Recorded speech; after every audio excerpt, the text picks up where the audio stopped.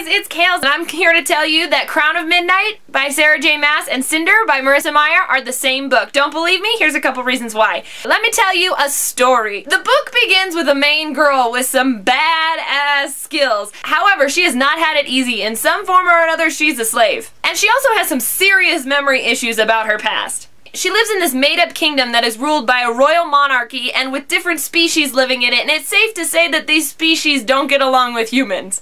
This main girl uses her said skills to help out the royal family and develops a rapport with them. Also, there's this really hot prince that she develops a relationship with. There's also this tyrant that's a threat to the world as they know it and is completely evil. There's like no redemption whatsoever regarding this tyrant. Rounding out the rest of the characters, there is a female best friend who the main girl heavily relies on. They share plenty of secrets with each other and, and think of each other as sisters even though they're actually not. In the beginning of the story, not so subtly slipped in there is a story about a long-lost princess who's the rightful heir to the crown and will supposedly save them from this tyrant. Hint hint, wink wink, nudge nudge, smack! Along the way, the main girl gets some help from someone who's related to the royal family, a sort of spy, if you will, who knows about the girl's secrets. And the spy tells the girl that she must be the one to fight against this tyrant. But the girl's not!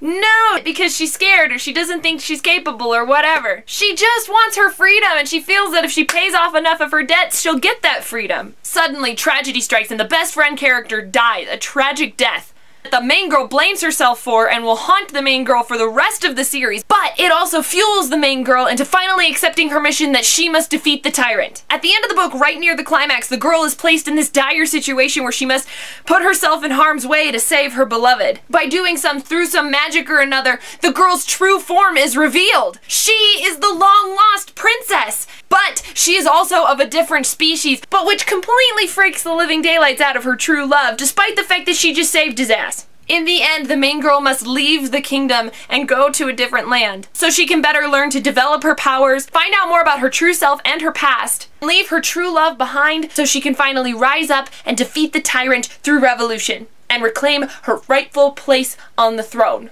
Know what story I'm talking about? I do. That's why these two books, Cinder and Crown of Midnight, are the same. If you have any more reasons these books are the same or completely disagree, let me know down in the comments below. I'd love to talk to you guys about it. Until next time, bye!